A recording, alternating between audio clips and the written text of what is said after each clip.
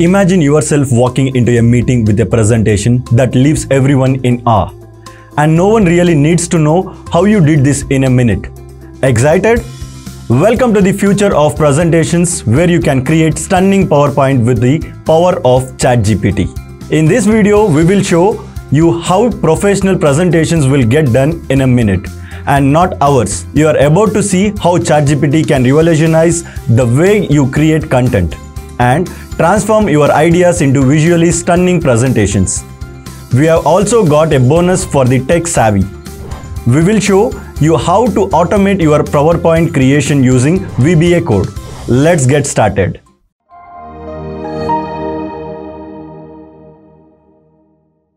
Welcome to this course on ChatGPT for Microsoft PowerPoint. So we'll dive deep into the world of PowerPoint in which you will get to know a lot about the world, how the PowerPoint uh, presentations are made. We'll know how to make creative and efficient slideshows, impressive presentations so that you could captivate your audience. Now with the help of ChatGPT, a latest model by OpenAI, we'll know how we can use shortcuts, streamline the process of making these slideshows and effectively create a solid, stunning presentations for our audience. So without any further ado, let's look at what is agenda of the session. So in this session, we will discuss about the introduction of ChatGPT. First, we'll know what ChatGPT is about. We'll know about its developer, OpenAI. How did it make it? What are the engine that runs ChatGPT? Then we'll talk about the various types of presentations you can create, right? Which is very important to know from the perspective how you will start thinking about making the presentation using ChatGPT. Then we'll know what are the key elements of a presentation, right? What should there be a title slide, a filler slide, how the images should be placed, how much pointers are required. So all this we will talk about in the key elements of a presentation. Then after that, we'll use some prompts, we'll add some prompts to ChatGPT and we'll see how we can add content, how we can create content slide by slide using ChatGPT for making a slide deck right, for making a PPT presentation. So let's start with our course. Now let's look at this module in which we'll talk about the introduction to ChatGPT. We'll know what artificial intelligence is all about and how the ChatGPT is integrated into giving us very short answers to the questions that we input, right? Effective answers, right? So what is artificial intelligence? Let's look at a brief about AI that we talk about. So AI is a, basically a simulation of human intelligence in machines designed to think and act like people, right? So now artificial intelligence in a nutshell is about, you know, using data, pre-trained data to make a machine work like humans, right? It's just, in a nutshell, it is just giving brains to humans, right? So artificial intelligence is simulation of human intelligence in machines designed to think and act like people. So how does this work? So I'll just go a little off topic and talk about how this actually works. So for example, let's say you are making a sandwich. So what would be the steps that are involved in making a sandwich? It would be, you would be taking, uh, let's say a slice of bread, two slices of bread, maybe a slice of cheese, maybe some veggies like cucumber, tomato, onions, right? And step by step manners, you would toast your bread, then you will add the cheese on it, maybe butter on it, then you'll add uh, let's say cucumber and all the veggies on it and then you will close the sandwich and it is ready to eat right? This would be some of the process that would be involved. Now how would a machine learn all this? So a machine would learn each step of the way. It will learn how you are lifting your hand to you know take out a slice of bread maybe lift it, how you are cutting your veggies how you are adding cheese. So it will learn this process of making a sandwich from the data that you would provide right? From your actions. It will notice that actions, it will imitate that actions and it will learn through that way. So now let's say you are one human. So this he will repeat or she will repeat, the machine will repeat for n number of people. Now it would have a large chunk of data, then it will learn on that data. So making a sandwich requires these elements. So it, this is how a machine learns through artificial intelligence, right? This is the data that comes in and machine learning algorithms that work that make it the model that it is today. So AI involves the development of algorithms and computer programs that can perform tasks that are typically require human intelligence uh, and natural language, recognizing objects and images, making decisions and solving problems, right? First, what used to happen is computers used to understand binary language. They still do, ones and zeros, right? So now what has happened through ChatGPT or through artificial intelligence, the medium has been such that you don't need to learn a programming language. You don't need to learn C programming. You don't need to learn Python. You don't need to learn Java or any other thing of that sort. You can just communicate in the language that you know. It may be English, it may be French, it may be Spanish. You can just input what you want from a machine in the language that you know. That's the beauty about the world that we are in today. Because we are in the hands in which we can ask anything and everything that we want and the machine will give us the answer, right? Artificial intelligence softwares are here for a while. For example, if you've known about uh, Google Assistant, right? Google Voice Assistant, Apple Siri, uh, Amazon's Alexa. So all these are virtual uh, personal assistants that you have that are also driven by artificial intelligence and machine learning algorithms, right? So when I talk about ChatGPT, so now ChatGPT is the AI powered language model that is developed by a company called OpenAI. We'll look around, we'll have a hands on it. But before that, let's look at what this is about. So OpenAI is uh, basically uh, an AI research foundation, the goal of promoting and developing friendly AIs that benefits human as a whole, right? So what does GPT in ChatGPT mean? It means generative pre-trained transformer and the architecture has been trained on a large corpus of uh, text data to generate human-like responses, right, to the prompts that we give. So that's basically in a nutshell from creating high quality content to providing keyword suggestion, nurturing leads. So in terms of marketing, in terms of anything you want to create content, you need to know about various principles that are long standard. You need to know about anything from a person who is studying in class 9 let's say uh, he or she wants to know about uh, newton laws so he can type he can ask in chatgpt what this is about and it'll give you the answer right to maybe doing some complex logical reasoning questions right suggesting some ways implementing certain strategies that also can be done using ChatGPT. So there are a lot of tasks that are involved in it. There are a lot of different things, a lot of different variety of things that we can do, right? So all this is about ChatGPT. Then if we dive deep into how it actually works, right? How does a generative pre-trained transformer? Let's dissect the world and understand in, in a more deeper depth what that is about. So understanding generative pre-trained transformer. Now generative means that it creates new information, right? So learning from what it has, it creates new information, it generates new information. That is generative. Then pre-train means, so initially the model undergoes through unsupervised pre-training phase where they're exposed of large amounts of data. So the data is divided into chunks is known as one is test data, one is training data. So all those things they are learnt on, they're the data that is dumped on them, they learn through that data and understand what is right and what is wrong in that context, right? So they undergo a supervised fine tuning phase which provides the guidance to the model and this fine tuning process is tailored to specific tasks that are being performed, right? For example, changing uh, the sentence from one language to the other language, right? So this is trained to do that. Then transformers. So now transformer is a very technical term that defines the deep learning algorithms that are there, right? So the deep learning models, transformers utilize a technique called tracking relationship in sequential data to learn context. In the case of GPTs, they observe words as tokens within a sentence and make predictions about the following word. If I take an example, let's say Ram is going to buy dash. So now the dash word is what it will be trained on, right? It needs to predict the next word in the sentence, right? It can be buying a bicycle or uh, buying uh, XYZ thing. So it can be done in that way that need, it needs to predict what is the next word in it, right? So that is all about generative pre-trained transformers. So let's look at what are the steps that are involved in this process, right? So the first step is the training the GPT model. Now training involves a lot of dump content dump data because we humans produce data in a day-to-day manner, right? We produce tremendous amounts of data, right? So training on that data is number one, knowing what uh, all the data can do, what are the different elements are there in that data so that it will train on that.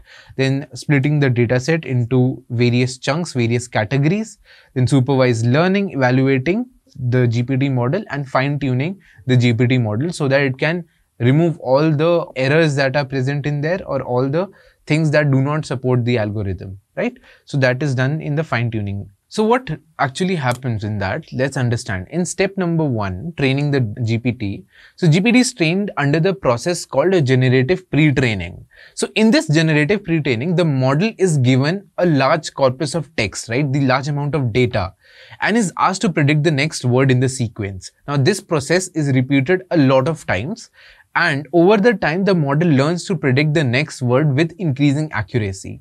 So the number of iterations it would do to understand the data estimate, it's in, in millions, right? Keep on iterating on the data till it gets the right word, right? Then is splitting the data set. Now, what happens is that the data is set is split into two parts. Number one, a training set and a test set. So the training set is used to train the GPT model and the test set is used to evaluate the GPT model. Now the test set is not used to train the model, so it can be used to measure the model's accuracy or on the unseen data that is provided, right? This third part would be training the GPT model. Now, the GPT model is trained using a technique called supervised learning. So in supervised learning, the model is given a set of input data and a set of output data. So the model learns to map the input data to the output data. So in this case of GPT, the input data is a sequence of words and the output data is the next word in the sequence. The fourth element, right, the next element would be evaluating that GPT model. Now, the GPT model is evaluated on the test sets. Okay, so they do not really touch the trained data set. They only look forward to the test data set. Now, this accuracy of the model is measured by the percentage of time the model predicts the correct next word. So, let's say if I'm building a machine learning model. So, what would happen in that case is that I would check the accuracy from the number of iterations that has happened and the number of times it is correct in terms of the prediction that it has to. So any model that already analyzes what is going on would not be considered good. While someone, if that model could predict what is happening in the foreseen future, that is what the model accuracy or the model uh, predictiveness would tell, right? So the better it predicts for the future, the better standing that model would have. So the next is fine tuning the GPT. So the GPT model can be fine tuned on a specific task. So the fine tuning is a process by adjusting the model's parameter to improve its performance on a specific task. For example, GPT can be fine tuned to generate text, translate languages and answer questions. So the start of all this was to translate one language to the other. Then it grew on from that, right? So that was the historical part in which was trained to translate languages, generate various text, shorter text, and then give more logical uh, sound answers. So using GPT, the model is used to generate text, right? Translate languages, answer the questions, perform various tasks. So this can be used to generate human-like text, right? The way we speak, not in the terms of computer languages, right? So this was about uh, what does GPT mean? So now let's look at the various type of PowerPoint presentations or the types of presentations are present, right? So there are different kinds of presentations. So let's talk about them. So the presentations come in, in various formats and styles which are catering to the different communication needs and audience preferences. Now let's look at some of the common types of, of presentation types, right? So the first one is informative presentation. So now what this is about, this is what you're currently seeing, right? The, the slides that is there, right? So this slide is basically what is the purpose is to provide information to educate the audience about a specific topic. So I am talking about presentation. So this makes it a informative presentation type, right? So these presentations are content driven, right? So this is a very important keyword right here that this is content driven and the focus is to explaining the concepts and processes. So if we look about this current slide, right, I have a header, right, right here. So this is the header we talk about. So then we have the content over here, right? The context is defined over here. So this makes it a informative presentations in which it is good to have a written text and it's okay if there is no image. So the purpose is to make an audience understand a particular concept, right? So for example, when I was explaining to you about the various steps, right? I used something known as a flow diagram, right? So this, the purpose is to make them understand. So first what will happen is train, training GPT, then splitting, then supervise. So the way it is structured, right? This is in a flow type of information, right? So this is good for an informative presentations, right? Then you have persuasive presentations right? Maybe the goal here is to persuade a group a set of set group of audience right? Maybe to adopt a particular viewpoint right? Idea or a course of action. Maybe in a business setting in a business meeting when someone is talking about let's say what are the future prospects of of xyz uh, commodity or xyz things right? So you need to tell them why my idea is better right? So the goal of that presentation is to persuade the audience right now you would do anything to make them believe that what you are doing is right so the structure would be in such a way that they adopt a particular viewpoint at the end of the presentation, right? Then is demonstration or product presentation. Now, what is this about? This is about, for example, if you are selling Amway, let's say Amway is a product, right? You're selling Amway. So you're creating slides. You want to reach out a lot of audience. You're talking about that particular product. So how would that show? They, that would be uh, probably keeping that product picture in the slide, then talking about that slide, talking about the various elements of that product. So that would be a, a more related to a product presentation, right? So these presentations showcase a product or a service. The focus in is highlighting the features, benefits and value of offering, right? So this is also very, very important type of presentation. So basically in a nutshell, what you create depends on what type of presentation it is, right? So basically in a product presentation, you cannot create an informative presentation in which you do not have let's say any sort of images and you're just describing the product. Because at the end the audience have to visualize what you're talking about right? So in order to do that if it is a product demonstration or a product presentation then the product should be the image of the product is the key to make them understand or resonate what you're talking about in a more efficient manner. So these presentations showcase how a product or a service works right? So this is about demonstration or a product presentation then then it is conference and keynote presentations right you might have been to uh, let's say research conference or let's say an event in which you are a keynote speaker so delivered in these conferences right at large events keynote presentations set the tone of the event and often featured influential speakers sharing inside trends and thought-provoking ideas. Now, this type of presentation may include a lot of flow diagrams, a lot of you know images because you're catering to a large audience right? Let's say you're you're presenting it in a large auditorium. There there are hundreds of people thousands of people sitting maybe right? So getting those fonts bigger for them to see look at focus on right? Using certain elements that are large certain elements that are small. The one that is large would have a greater chunk in which you would be delivering to them. So the focus would be that aspect the part in which the, the text would be smaller or the images would be smaller would hold a significantly less amount of time while presenting or also the focus would be a bit less.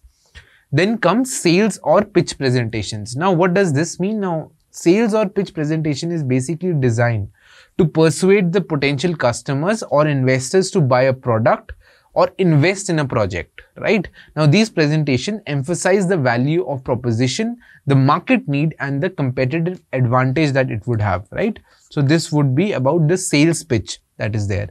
Then there's something known as elevator pitch. Now, elevator pitch are considered to be a very short pitch, maybe in a slide or two. The aim is that it should be as quick as you are uh, going from ground floor to let's say 10th floor so the amount of time you would take in an elevator is equivalent to the time of presentation you would have so this is that's why it's known as elevated pitch presentations. So concise and compelling presentations that can be delivered within the time it takes to ride an elevator. It's used to introduce oneself on a business idea very quickly. So this type of presentations would mainly let's say have a title slide, a big header right there.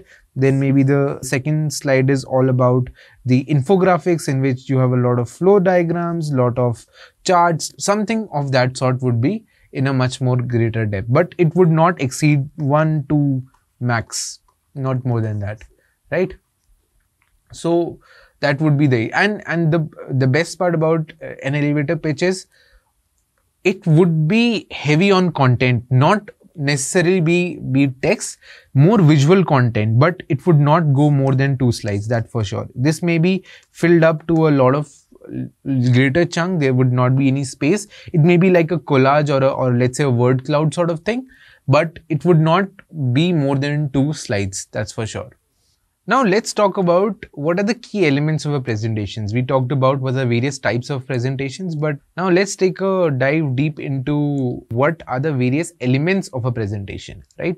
We talked about the various types of presentations, but now let's focus on the element inside the presentations. What are the various elements? So uh, the key elements include the number one is the title slide. What is the title slide? I'll just show you in my presentation itself. Something of this sort, right? Where the resemblance is a big header right here, a big header. Then you would have something to distinguish it, right? So this is the format. Then you also have, let's say a template to the presentation, right? So this slide would be the first slide of the presentations, which is known as a title slide. Okay. Then, so that's what we talked about, the title slide. The first slide include presentation title, your name, the date, possibly the name of your organization or institution, right? So the second part is introduction. Now, a brief introduction slide that sets the context for your presentation and outline what you will be covering, right? So it may have a byline, let's say that, okay, this uh, topic is about this, the particular thing, right? There will be a very short byline, right? That outlines what you're covering. It's not necessarily popular in the current scenario in which you just have a title slide and then you move on to the agenda, right? So agenda slide is a slide that lists the current main topics or the sections of your presentation so that the audience know what to expect, right? For example, I had as an agenda, right? I had four pointers. Now this is my first main pointer, right? First main pointer. This is my second main pointer. This is my third main pointer. And this is my fourth main pointer. So what is this required? Why is this required? Now this pointer will act as a filler slide for my upcoming modules, let's say, right? So this comes here. Now, how do I distinguish this? This is a filler slide in which just the topic is marked in the slide. You don't have a extra specifying uh, border to this. You just have a, a, a normal, let's say a normal text written on a slide. It's known as filler slides. Why is this important? Distinguish number one from the title slide because title slide has a much more elevated, much more intrinsic, much more clear idea of that this is the title slide. In this, it's just normal slide in which the title is written. So the pointers of the agenda will act as a filler slide or the module starters, right, in a presentation. Then you have, uh, let's say, uh, various charts and graph, visual representations, right? Now, if it is a sales pitch or if it is an elevator pitch or if it's a, let's say, any sort of uh, keynote pitch, the charts and graph play a lot of role, right? If you go ahead and uh, see a lot of TED Talks, whatever the presentations they present would either have a graph or a visual representation, maybe a photo in the middle of the slide, right? Maybe a photo in the middle of the slide. And then you'd have the story done around that picture, right? This would be the main element. Then or maybe the case there would be if it is a very technical sort of thing you would have let's say a scatter plot made a line plot or, or bar graph or histogram. Then you're talking about that in the entire then you don't have a much sort of text. You would have a graph. You would label the graph of course x y what does this represent? What does this axis represent? And then you would talk around that part in the presentations right? Use visual representations of data to make the complex information more digestible and understandable, right? You don't want your presentation to have a lot of complex jargons because then the attention of the learner would go away. They would probably scroll their phones and not look at your presentations. But you don't want that. You would want them to be hooked on to what you are speaking and what you are showcasing. So it becomes really important to start off with, right? Then transitions are very important, right? Add smooth transitions or animation. So this is usually done when it is sort of either informal presentation or if it is something that is not very, uh, what do we call? Animations would be something that transitions are good. Animations may make it a more informal presentation, right? When you have a lot of, let's say, floating things coming on, a lot of jumping things coming on, right? You have those animations in the presentation right? smooth transitions is when let's say you have a flow chart right? You have a flow process that is defined. So what would happen in a smooth transition? This would come first. This would be the second. This would be third. So when you click next so only this will be displayed then this will be displayed then this will be displayed in a step by step manner. So that is something that is really formal. You can use that in any sort of settings. But the animations are a bit more informal approach. So try not using too much of animations in your decks. Then it would be more like creating a school level presentation and not something that would be a university or a or a corporate sort of presentations then is examples and case studies. So if applicable, include real world example or case study. So one of the best methods to engage your audience, one of the best methods to make your audience appeal or hooked to your presentation is through example and case studies, right? People always remember this. People always resonate to the real world examples and the real life case studies that are there, right? Because it adds credibility to the presentation, which is very, very important. Then also you can use, if it is something that is a motivational presentation, add relevant quotes, you can add from experts or if maybe it's a sales pitch right? If you're talking about uh, you know selling a particular product then you can talk about the actors that you have that are there your brand ambassadors those who have spoken about that particular product. You can add quotes. If it is a motivational sort you can add quotes from various world leaders various famous personalities and you can make your presentations more desirable more uh, attractive more relevant to the scenario. So these are the various key elements that are there. Also, one of the major aspects is to focus on the content slides. Now, content slides are the main body, right? For example, in an email, you have subject, you have the header, you have the first byline of some sort, you have the main body text, and then you have the ending to the email. Similarly, in a presentation, you have your opening of the presentation, you have the ending, the summary part, but then in the middle is what we call about the main body text. How would you indulge when you deep dive into, let's say, technical jargons, when you talk about main context of the presentations, which is not too fancy. So that is when you have to be clear and concise with your points. Now, each slide should have a single main point and idea. Avoid clutter on the slides, right? Don't use a lot of pen while explaining that may make your presentation uh, not desirable. Avoid clutter and keep text concise. Then is use relevant images, charts, graphs, and diagrams to complement your points and make your presentation more engaging. Now, bulleted list. When you're presenting key points, use a bulleted list for easier readability. Font and color. Ensure that the font size is large enough, right? Now, font also plays a very critical role, right? If you are, let's say, if your header is of, uh, let's say, uh, text style, let's say 32, text font size 32, and your body is of text size 9, which will also give a very, you know, bad feeling when the header is too big and the the content size, the main body text is very small. That's also not good. You have to create a margin. You have to make sure that your header is clearly visible, but not overly visible that it disrupts the audience from looking at the presentation. Then uh, the color, right? You don't want to use, you can use a lot of bright colors to highlight specific points. But let's say, let's assume that if I were to make this entire thing red, right? How would that feel? That would not be good, right? So let's say that if I make this slide a very bright color, let's say if I put uh, a very, very bright color indeed, let's say red, right? It's very not appealing, right? It's not soothing. It's like something written in red, which is also not good, right? If I make it too, too, let's say, uh, a very bright color, let's say yellow, right? I cannot barely read anything, right? So it has to have that readability. It has to have that, you know, sense of things. Bold, when you have to do bold, you have to focus on a specific point, then make that relevant point bold. If not, then leave it. So that's how you have to make your presentations more engaging. So in this module, let's talk about creating content using ChatGPT. By content, I mean the slides. Uh, let's create a presentation but let's first look at the interface of uh, ChatGPT. Let's look at how the dashboard of ChatGPT is. Let's have a hands-on on that. Okay.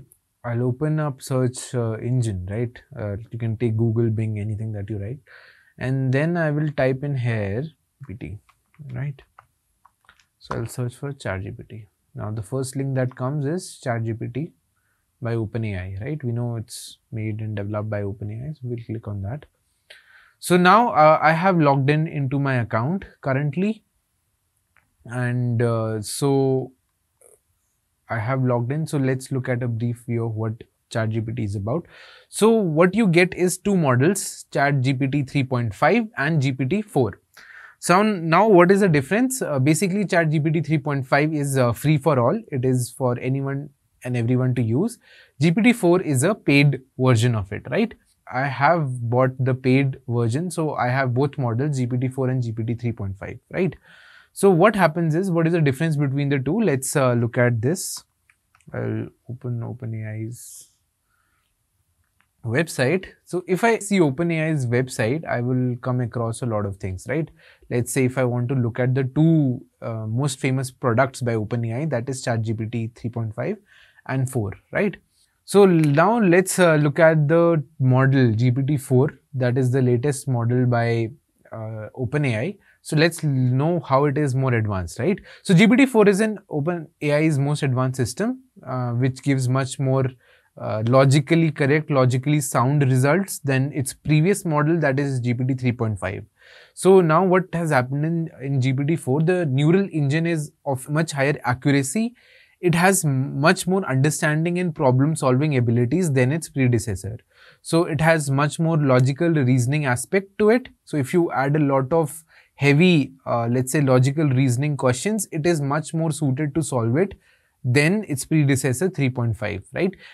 However, the speed of GPT-4 is slightly slower because it has much more uh, problems and the backend, the algorithm is, is in such a way that it takes more time to give your results. But the, the accuracy is much more in GPT-4 than in GPT 3.5, right? So uh, now let's see, uh, GPT-4 is more creative, collaborative than ever before. It can generate, edit and iterate with the users on creative and technical writing tasks such as composing songs, writing screenplays or learning a user's writing style. So for example, if I give GPT-4 that write a poem on, on let's say any topic, but every word in that poem should start with the letter M. So it will give me that result. It will make a poem, it will generate a poem from scratch, which is not, uh, by the way, copied from anywhere but it will create a new poem for me which would start, which would have all the words that starts with the letter M. Now GPT-4 uh, surpasses GPT-3 in the advanced reasoning capabilities. They have given the input how uh, GPT 3.5 that is ChatGPT is different from GPT-4, right? So in the percentile rankings, right? So 90th percentile, right? That's a that's like top 1% of the class, right? That is the result that GPT-4 got when it uh, gave these exams, right? When it was run, the exams were run through these. So it gave 90th percentile. That is basically Olympiad level things, right? Top 1%, right? Right? In biology Olympiad, it is 99th percentile. That's basically a topper, right? So that's how advanced it has become, right? Compared to its previous models. So it is ongoing. The research is ongoing. OpenAI is still developing these models, right? But as it mentions, right, that GPT-4 is 82% less likely to respond to requests that disallowed content and 40% more likely to produce factual responses, right? More factual accuracy than its predecessors. So that's why GPT-4 is a really, really popular, but it is currently paid both the models are good, but GPT-4 is a much better model in terms of response and everything, right? So uh, now coming back to the topic, here's the quick dashboard on it. You can write your prompts in this message box here in which you can write your prompts, then you can send your prompts, whatever it is, right? And uh, this is basically the threads, right? The threads, whatever the threads are there, that would be in this black section right here, right? So you can add new chat from here. You can close this sidebar when you are, mm, you know, uh, asking or writing your prompts of particular topics. You can minimize that one, right? So one thing is that uh, Chat GPT, right? Uh, this has learned and trained uh, the data, right? Whatever it has trained is up to 2021, September 2021. So anything that is after that, it does not know. If I ask him what is the date today, right? Or maybe uh, if I ask them what is today's breaking news across the world, right? it would not give you because it will write here i apologize that i do not have real time capabilities my knowledge extends up to september 2021 so it will give you directly that okay i have not been trained to you know talk about what is happening in the world currently because my knowledge is up to date up till 2021 right so that's one disadvantage that's one drawback that ChatGPT has that it's not aware about the current things that are happening, right? If there is any change in certain things, it would not know, right?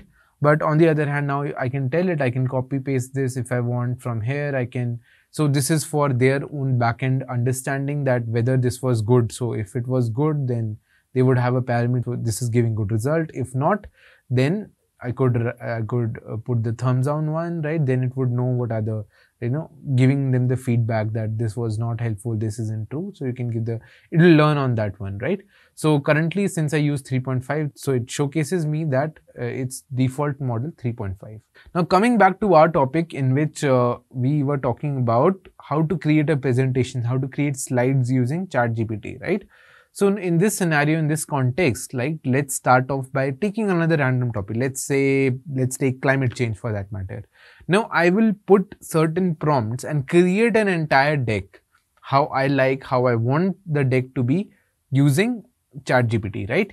So for uh, better results, let's just take a GPT-4 model and let's just uh, type in our, our prompts here, right? So my first prompt would be quite generic. I would not add too many details in it. But when you're talking about GPT-4 model, if you give them various parameters, then it is much more helpful. Otherwise, GPT 3.5 and 4 would be the same. So if you have a lot of parameters, let's say uh, climate, uh, when I talk about climate change or the topic about climate. So I would have, if I want to input a lot of parameters in it, you know, talk about the audience in, let's say, Asia Pacific region, know about what is happening, historical data on how the global warming has uh, has started or or is on the rise what what are the various greenhouse gases? So all that we, if i have to talk about i can give them the parameters to talk about right? So all that we'll see. Let's get into it. Let's dive deep into it. So let's just type in first what should i name right? Let's say uh, if i have to create a let's say ppt on the topic climate change, could you suggest me some catchy titles for my PPT, right? So let's just type in, let's just see what it gives me, right? Now I've given that I have to create a PPT on the topic climate change. Could you suggest some catchy titles for my PPT, right? Now uh, it will give me a list of of answers, right? It will not give me one or two answers. It will give me a list, a good chunk of more than 20 or 20 uh, results, right? And I can pick from there, right? Uh, Earth is a tipping point, understanding climate change, unraveling the climate conundrum, the heat is on, decoding climate change. So all this is given. Now I can choose, right? Let's just take any uh, random thing, right? Uh, let's just say so now we have got the content up. So one other way you can, you know, ease your process of not copy pasting it to a slide deck or to the Microsoft PowerPoint is through a process called as uh, VBA, right? So what it is, let's look at. So I will just do one thing. I'll just create a dummy presentation, right? So I'll create an empty presentation as you can see. So what will happen is that I will input in this uh, the VBA code to create the VBA code of this slides, right? So since there are a lot of slides, it will not create the entire one, but let's just take a dummy example. I'll ask ChatGPT to create a visual code. So now here I've written make a PowerPoint VBA code for this to run on Microsoft PowerPoint, right? So let's see what the result is about. So now it has given me all the code, right? It has made a code uh, that can be copy pasted in PowerPoint and the slides will be there, right? So let's just copy paste this code. Let's go to the empty presentation that I've created. So I'll click on this, then do Alt F11, right? So what will happen is that it will open up this window, right? Now what I have to do is I have to create, I have to go on insert, create a new module, right? So this new module is created, right? Now what I'll do is I'll copy paste the code that was there in uh, chat GPT gave me for VBA. So, so this is basically Visual Basic for applications. What it does, it is your, is your process of making a presentation.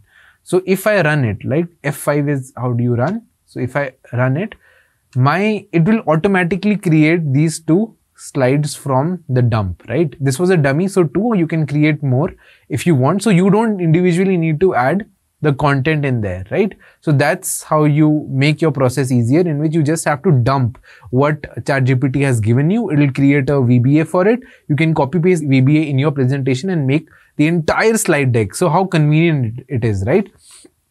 So this is all about VBA.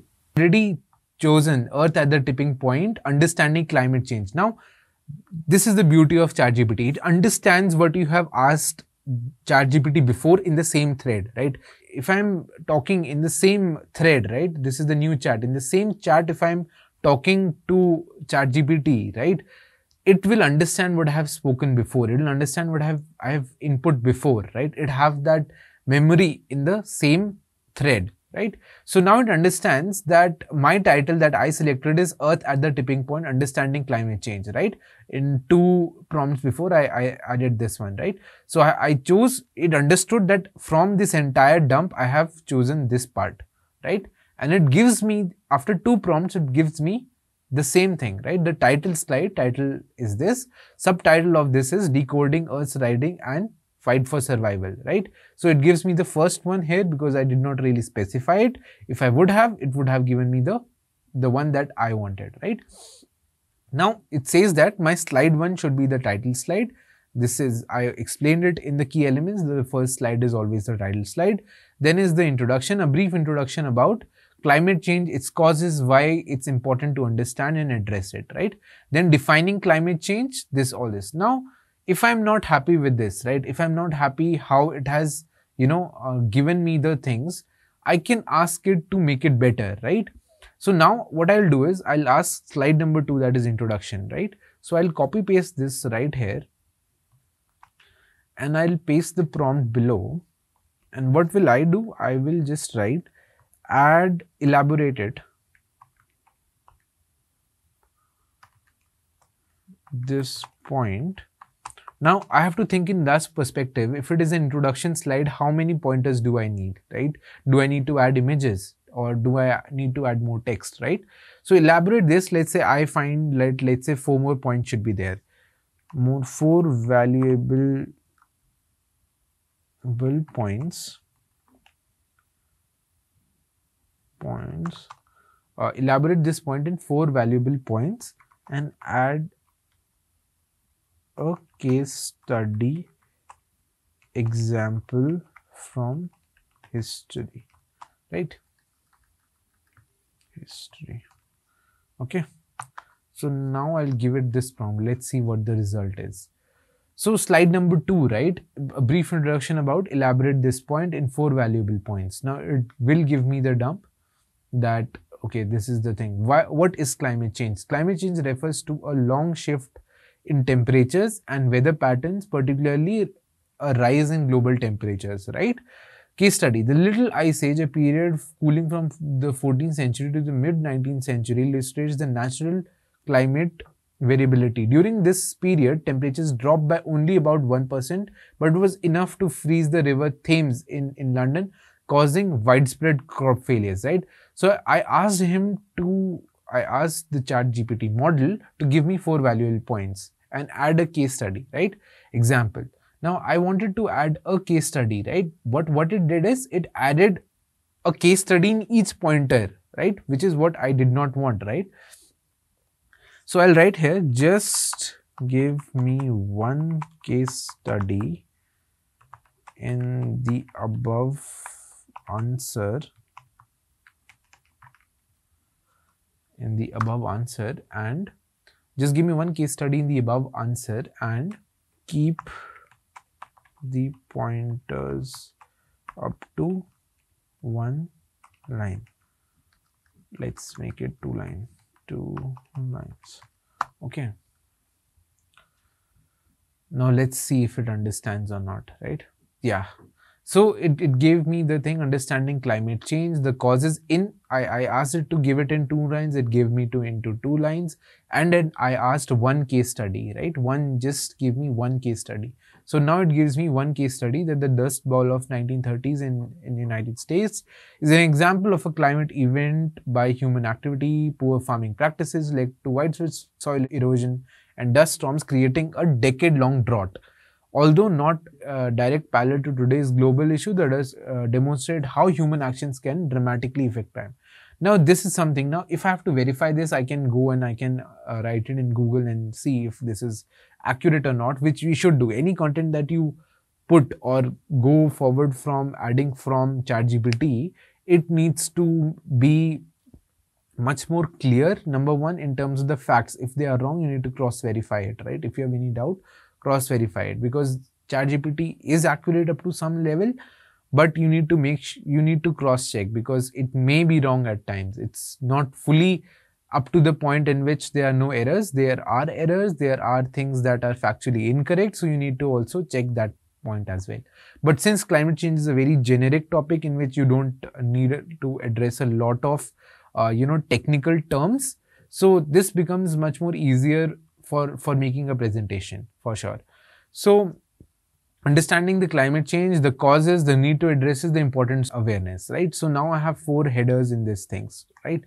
Okay, let's now talk about uh, how to add these slides in PowerPoint presentation. So what I'll do is uh, what I have got here, right? Now I want to elaborate it, right? So I'll just write, I'll just rechange it. So there's this option here where you can modify the current prompt, right?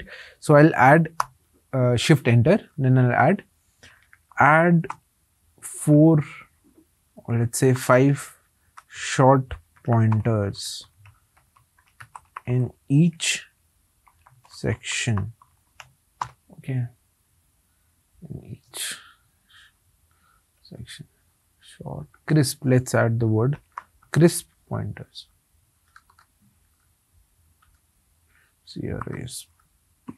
Crisp pointers in each section. So let's see what the result is. So now what happens is it would give me an iteration, right? It would give me, okay, so this was my first iteration. This is my second iteration. So it will give me from now it understands that title slides cannot have a four point pointer thing. So it will not give me those kind of pointers, right? Now this gives me a, a lot more pointers. I've asked for four pointers. So it's giving me five pointers that is there. Now I want to add this in, in my PPT, let's say. So I'll just go to, I'll create a new, right? So what I'll do is I'll refresh this and I'll, I'll uh, click on the right button, then I'll create Microsoft PowerPoint presentations, right?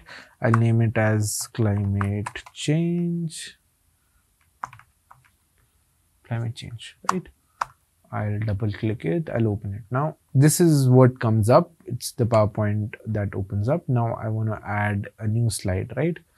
So can I can create a title slide that is right there. Then I can add uh, subsequent slides, right? Then I need title and content. Then I can have much more like this. So slide number one, let's see what, what it has given me, right? So it has given me first is the title slide is Earth at the tipping point of climate change. So I'll, I'll click on this, I'll copy paste this, then I will add this here, right? Climate Earth at the tipping point, right?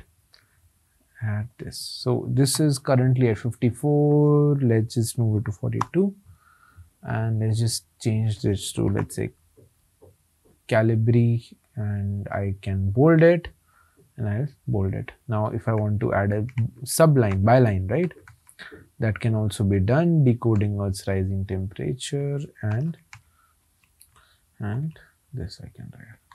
Right. So this is generally in a lesser known, in a let's say a, a bit more smaller than the previous. So I kept this one as 42. This one I'll keep as 24 or 24 is is fine.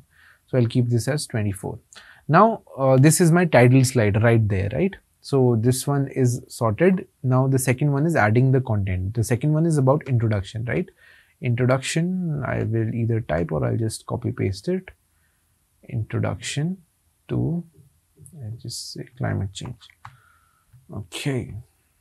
So it comes up in board automatically at 44, but I'll reduce it to 32 right? 36 let's just take it. Okay i have to select all. I'll just give the number 36 okay and i'll bold it's already bold it is perfect. Right?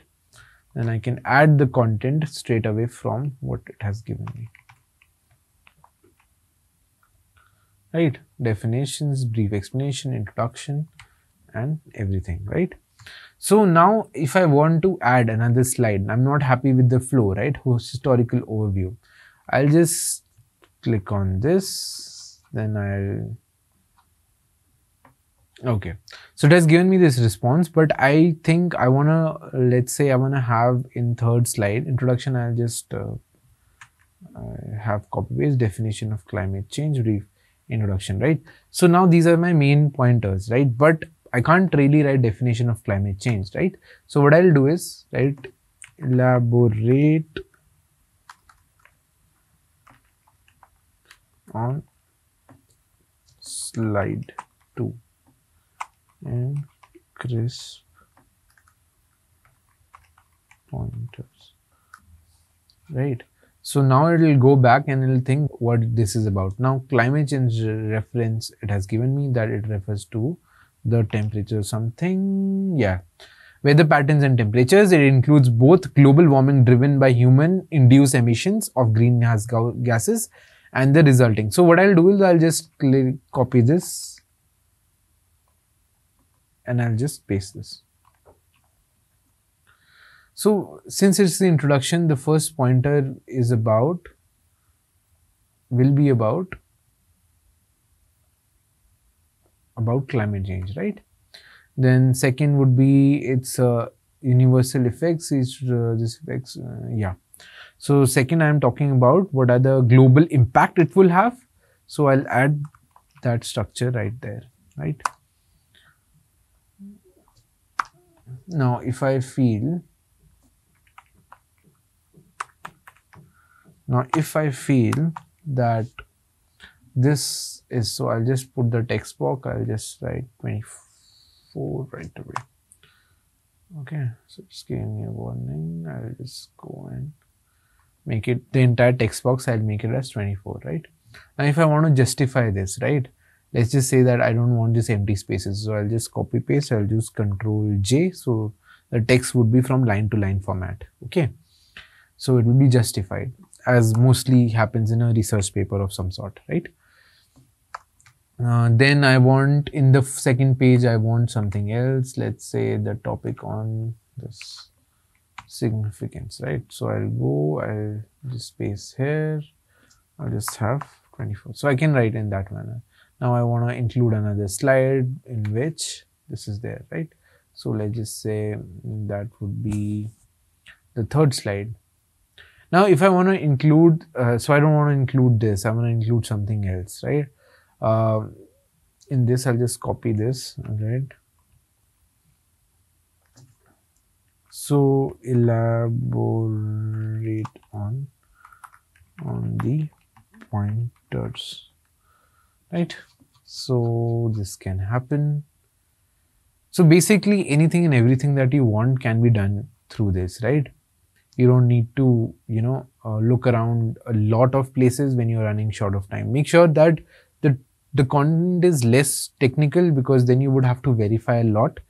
But in cases of, for example, this, right, role of carbon dioxide in greenhouses, I would want to go and verify if whatever this is written, right, is correct or not. is are the greenhouse gases correct or not? So which in which i can see is correct by the way but you know you have to verify it. You have to go and verify it right? So what what is this? Now i can add these pointers. I can just go ahead and add the pointers right here right? So i can add the pointers. So now what is the best part about this is let's just take that uh, i want a historical case study to be presented right? Or i can ask them for historical case study on uh, climate change let's just modify some parts. So i'll write for historical case study uh, on climate change. Can you add historical exam examples? Right. So from the very start it is giving me the responses like the little ice age dust bowl Keeling curve 2003 european heat wave uh, record arctic heat ice melt and all that. So this is giving me this. Now i can add these case studies in my presentations. Or what i can do is also one more prompt i want to introduce is that develop a slide that introducing the main objectives of a climate change campaign include bullet points highlighting the key goals and strategies to be implemented. Right? So what does this mean? This means that uh, increasing the awareness uh, key goals influence policy right? Policy changes need to be introduced engaging communities inspire actions right? So the various strategies to implement is educational programs policy advocacy so all these things right? So now uh, the key goals are written. So how they were it was structured in key goals and strategies. So it will give me two different things. Now if it's my choice if i want to add it or not. So let's just type in another thing. Let's just see what it gives the response. So design a slide featuring the timeline of important historical events and climate change movement Utilize a horizontal layout and add brief descriptions to each, each event to provide context. So, so if the, the prompts are a little more lengthier, so GPT-4 has this ability, higher order reasoning, right? So it can give you better results in that scenario, right? So the timeline it is giving me in timeline 72, 79, what are the various things? First World Climate Conference, then Kyoto Protocol, this Paris Accord that happened to 2015, so that's also mentioned here, right? So all the things are mentioned here, how the they are. Now, if I want to have this, right? So give me, a, this was the most popular one, right? So elaborate on this. If I want to give a case study much more depth, so I will add a prompt that would, you know, make make it much more bigger. Now, if I read news, I would know that there was a Paris Accord in 2015. So what would happen is if I want to add key sections in which I want to talk more about, right? So these are the elements that I can use, right? So this will be coming in. Now in our deck, right, if I have to make a lot of changes, so I will what uh, I can make the changes to the design aspect of it. I can make it uh, look how it's supposed to be, right? I can add changes to the slides how I want the slides to be, right? So this can be modified as much you can play around the functionalities of it. But to create a crisp deck, this is what is needed, right? You can, what you can also do is if uh, there is that, that kind of uh, space, what you can do is you can also add uh, extensions to the PowerPoint in which you can basically you have to dump what uh, ChatGPT gives you and it will automatically give the response to it, right? So now we have got the content up. So one other way you can, you know, ease your process of not copy pasting it to a slide deck or to the Microsoft PowerPoint is through a process called as uh, VBA, right? So what it is, let's look at. So I will just do one thing. I'll just create a dummy presentation, right? So I'll create an empty presentation as you can see. So what will happen is that I will input in this uh, the VBA code to create the VBA code of this slides, right? So since there are a lot of slides, it will not create the entire one, but let's just take a dummy example. I'll ask ChatGPT to create a visual code. So now here I've written make a PowerPoint VBA code for this to run on Microsoft PowerPoint, right? So let's see what the result is about. So now it has given me all the code, right? It has made a code uh, that can be copy pasted in PowerPoint and the slides will be there, right? So let's just copy paste this code. Let's go to the empty presentation that I've created. So I'll click on this, then do Alt F11, right? So what will happen is that it will open up this window, right? Now what I have to do is I have to create, I have to go on insert, create a new module, right? So this new module is created, right? Now what I'll do is I'll copy paste the code that was there in uh, chat GPT gave me for VBA. So, so this is basically Visual Basic for applications. What it does, it is your, is your process of making a presentation. So if I run it, like F5 is how do you run? So if I run it, my it will automatically create these two slides from the dump right? This was a dummy so two you can create more if you want. So you don't individually need to add the content in there right? So that's how you make your process easier in which you just have to dump what ChatGPT has given you. It will create a VBA for it. You can copy paste VBA in your presentation and make the entire slide deck. So how convenient it is right?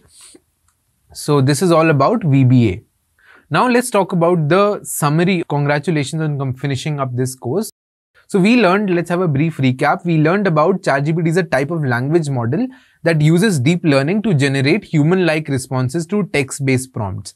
Now it can be used for a variety of uh, natural language processing tasks such as answering questions, generating text and providing personalized recommendations on various things, right? So ChatGPT is very useful in creating content and structuring slides in PPT. As we just saw, we also saw how you can optimize the way you can create slides using VBA. You can just have to put that dump as a VBA code in PowerPoint and you can just create an entire slide deck without even manually doing it. So saving even more time right it saves your time in terms of researching about a lot of things in terms of you know structuring it in a way uh, per slide it saves you time it gives you in a structured manner. So this is the advanced thing about artificial intelligence and chat gpt that we can optimize the way we are learning things optimize the way we are creating things on this scenario right?